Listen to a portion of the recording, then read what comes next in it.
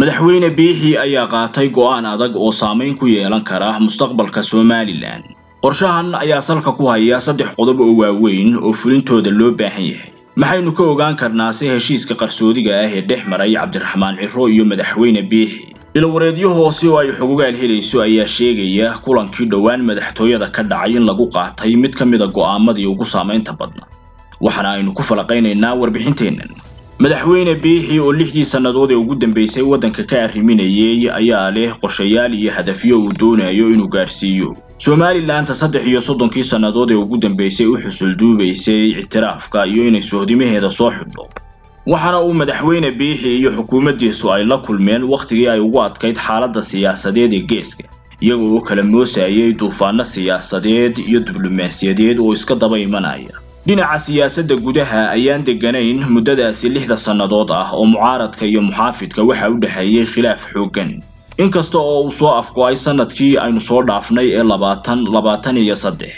Somalilan ayaa sannadkaasi martigelinaysay dhacdooyin isdaba joog ah kuwaasi oo aan ka farxinaynin. Waxaana kow ka ahaa in ciidamada milatarigu ay soo lumiyeen fadhiisimadii duleedka magaalada laascaanood iyo ka shisheeyey kuwaasi oo saddex iyo soddonkii sannadood ee ugu dambeysay ay hadafkooda ahayd madaxdii iska soo beddeshay somalilan. Sidii ay u gaadhi lahaayeen yoocada ah oo ah garoowe duleedkeeda xuduudka somalilan iyo soomaaliyana uu maro. Xilligaasi wixii ka dambeysay somalilan ayaa u jahaysatay tayeynta iyo qalabaynta ciidanka milatariga madaxweyne biixi ayaana xilligaasi ballan qaaday inta uu gaadhayo halkii ay ciidamadu joogeen oo ahayd tukaraqa in aanay doorasho ka dhacayn somalilan gudaheeda sida oo kalena waxa uu wacad ku maray. Inuu dib ula wareegi doono magaalada laascaanood ee xarunta gobolka sool oo haatan ay jabhaddu gacanta ku hayso. Qorshaha madaxweyne biixi waxaa berber socday isbedeldoonka mucaaradka oo ku mintidayay. Sidii ay uga qabsoomi lahayd somalilan gudaheeda doorasho ay ku beddelaan madaxweynaha talada haya warbaahinta xogogaal oo dabagal iyo baadhis dheeraada ku samaysay dhacdooyinkii ugu dambeeyey.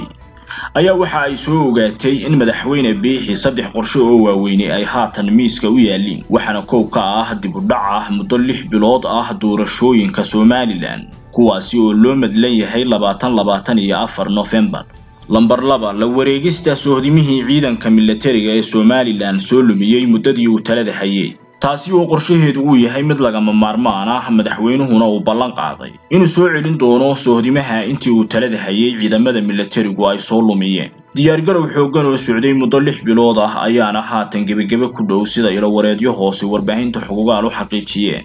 Qorshaha saddexaad ee madaxweyne biixi miiska u yaalla ayaa ah sidii uu u gaadhsiin lahaa somalilan aqoonsi caalamiya. Taasi oo muddo saddex iyo soddon sannadood kadiba ay tahay markii ay ugu dhoweyd somalilan inay hesho ictiraaf caalamiya waxaana arrintaasi ridaha u furay dowladda etoobiya oo dhowaan heshiis is-afgarad oo sal ballaadhan la gashay. Madaxweynaha somalilan muuse biixi cabdi sida oo kalena heshiiskan ayaa ka dhaliyey xiisad siyaasadeed. Xiisadaasi oo salka ku haysay in aanay somalilan aqoonsi caalamiya helin oo ay ka soo horjeedaan waddamada soomaaliya iyo jabuuti.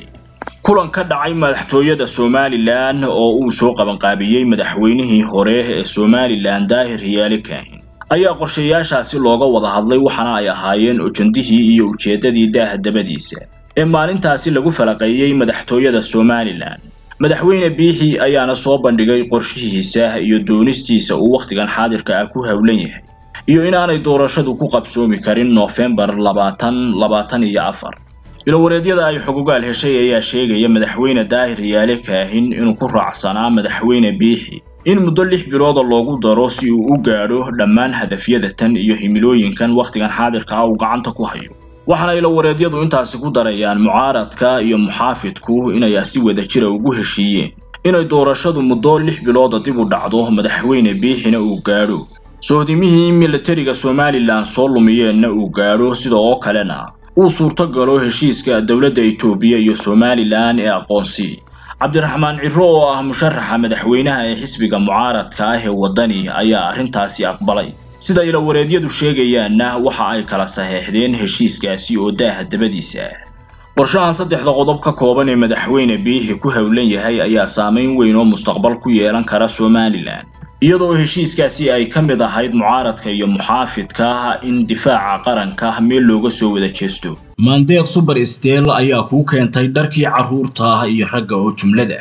Iyada oo qiimo dhimis ballaaran kuu samaysay munaasibadda ciidda ee fooda inugu soo haysa awgeed. Waxayna ku taallaa magaalada hargeysa ee caasimadda somalilan agaga arka basaska cabaaye halka ay qaybta kalena ku leedahay magaalo ganacsiyeedka togwajaale wixii faahfaahin ee dheeraadana kala xidhiidh lambarrada shaashadda kaaga muuqda